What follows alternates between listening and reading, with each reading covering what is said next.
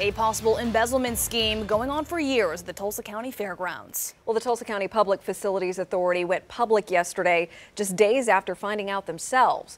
Two Works for You's Micah Hatfield is live at the fairgrounds with what they've uncovered so far this morning. Micah. Good morning, Corey and Aaron. Right now, there are still a lot of unanswered questions, like exactly how much money was taken, who took it, and how long this has been going on. The Tulsa County Public Facilities Authority called in an accountant to review their processes and staff in February of 2018. They tell us at the time they only thought previous accounting staff wasn't following their standard procedures. But what the accountant found is money missing from 2015 to September of 2018, and they say it's a significant amount that they've already uncovered. The TCPFA says they are audited every year and they've come back clean. Now the FBI and Tulsa police are involved. We're told a total dollar amount will be released once they figure it out.